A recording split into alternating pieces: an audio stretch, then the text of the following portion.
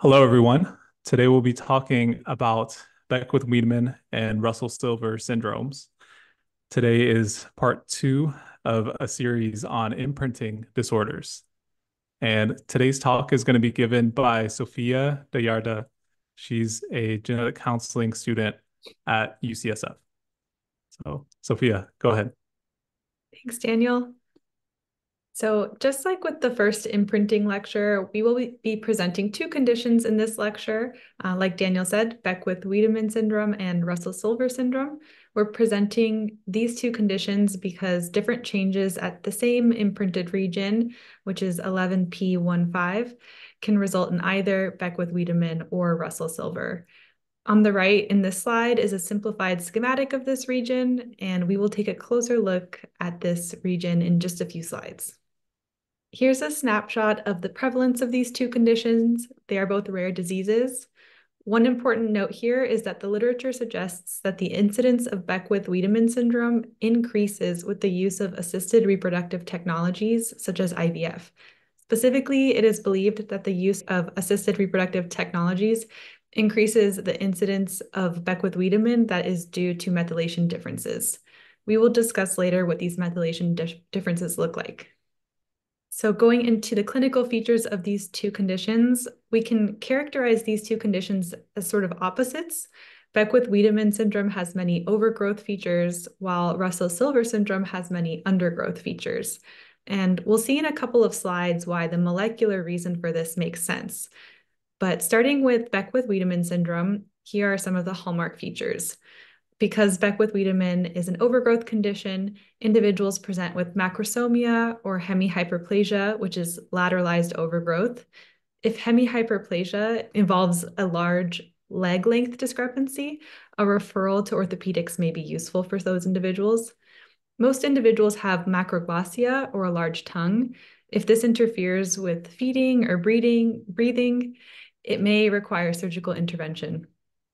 Kidney anomalies are present in about half of individuals, while cardiac anomalies are present in about 13% of individuals.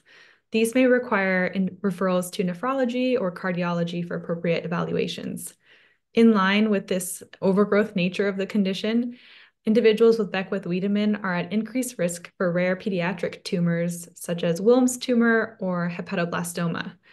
Referrals to pediatric oncology are recommended for surveillance and monitoring of these. About half of individuals have neonatal hypoglycemia and should be referred to endocrinology for surveillance. Quality of life is not expected to be too heavily impacted in adulthood for these individuals.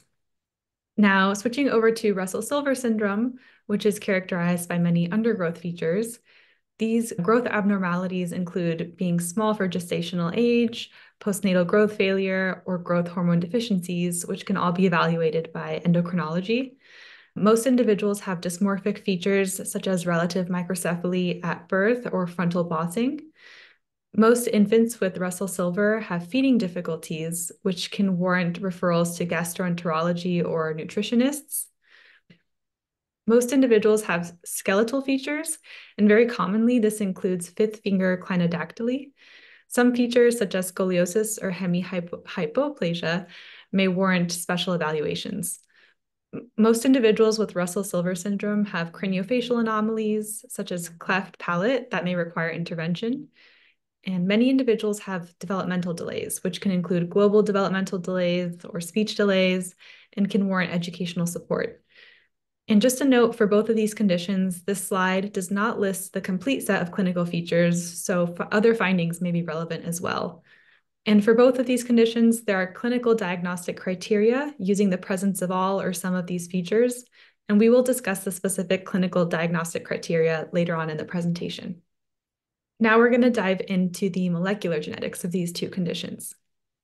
So it's helpful to start with a global view of the methylation and gene expression pattern of our region of interest, which is again 11p15, or we can refer to it as the Beckwith-Wiedemann critical region. This region involves two imprinting control centers, IC1 and IC2.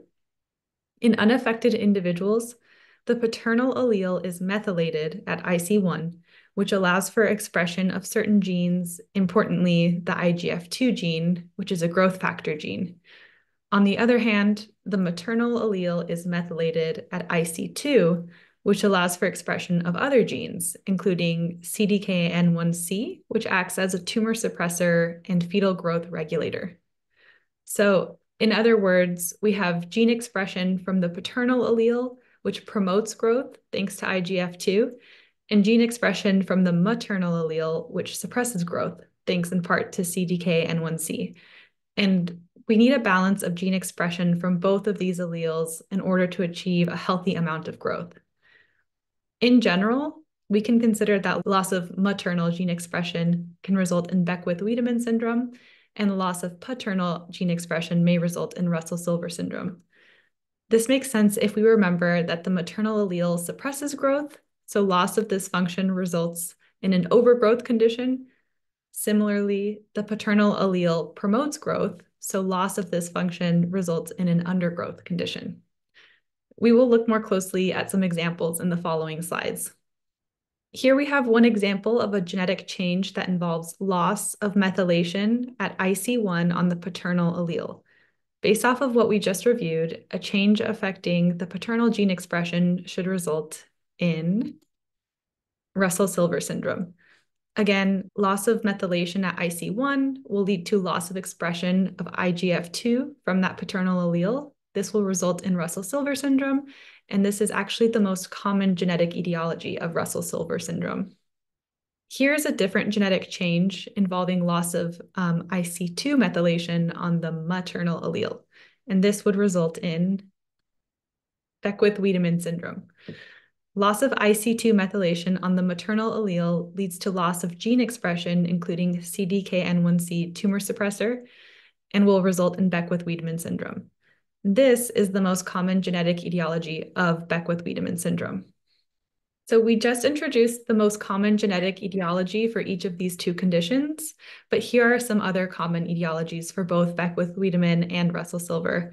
You can see that UPD or uniparental disomy accounts for the second most common cause of both conditions.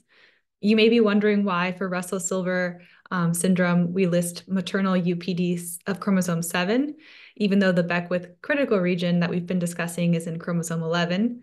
There's less literature on the link between chromosome 7 and Russell-Silver syndrome, but studies show that there is a second imprinted region on chromosome 7, which involves paternally expressed genes that are important for growth.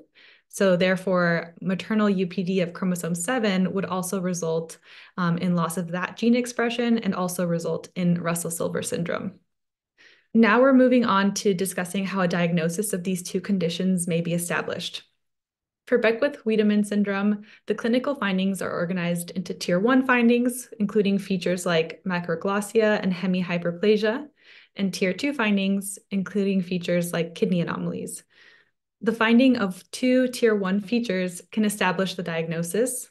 Alternatively, the presence of one tier one finding and one tier two finding can establish the diagnosis, and finally, the presence of at least one tier one or one tier two finding, in addition to a molecular finding, can establish a diagnosis.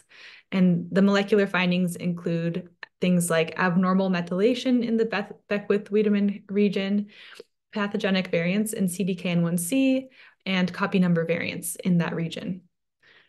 One note here is that in some individuals, a molecular finding is detected in the absence of clinical features, in these cases, a diagnosis of Beckwith-Wiedemann syndrome is not established, but the increased tumor risks are still present.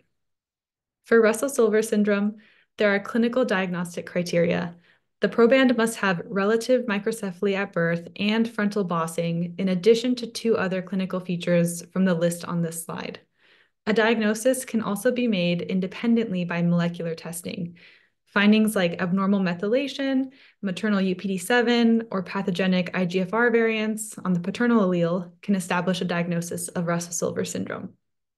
The molecular testing strategies for both conditions starts with DNA methylation studies. Like we discussed a few slides ago, methylation defects are the most common causes of both Beckwith-Wiedemann syndrome and Russell-Silver syndrome. For Russell-Silver syndrome, it is also recommended to send for UPD7 testing initially as well.